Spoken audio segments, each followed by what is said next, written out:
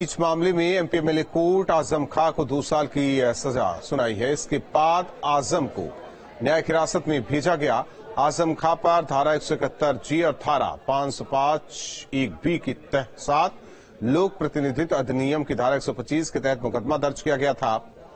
SP नेता आज़म खां के खिलाफ भड़काऊ भाषण देने का मुकदमा रामपुर के थाना शहजाद नगर में दर्ज हुआ था। ये मुकदमा साल 2019 में दर्ज हुआ था, तब आज़म खां एसपी गठबंधन के लोकसभा प्रत्याशी थे। सजा होने के बाद आज़म खां का बयान भी सामने आया। कोर्ट से निकले आज़म ने कहा कि क्यों परेशान हो, सजा हो गई, क्या परेशानी है?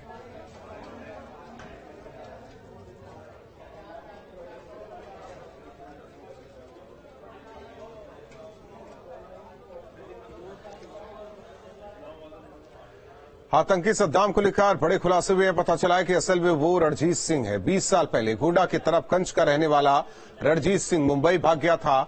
उसने ये कदम इसलिए उठाया था क्योंकि उसके पिता ने चोरी करने पर पीटा था। मुंबई में वो एक मुस्लिम परिवार के संपर्क में आया।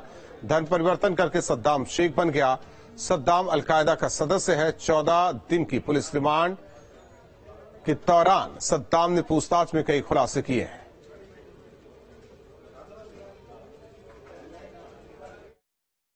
बीस साल पहले उसने धर्म परिवर्तन करके मुस्लिम धर्म को अपनाया था। बीस साल पहले वो हिंदू था और हिंदू रहते हुए वो गोंडा में रहा करता था। मुंबई और बेंगलोर में रहते हुए वो ट्रक ड्राइवर के तौर पर भी काम करता रहा।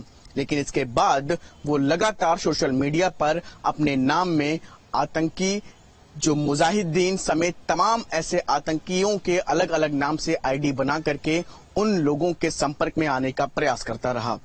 कई वर्षों तक रेडिकलाइज करने के बाद उसने एक बड़े लेवल पर आतंकी और पाकिस्तानी लोगों से बातचीत करना शुरू की और इसके बाद उसका प्रयास था कि देश और प्रदेश में ऐसी बड़ी आतंकी घटनाओं को अंजाम दिया जाए।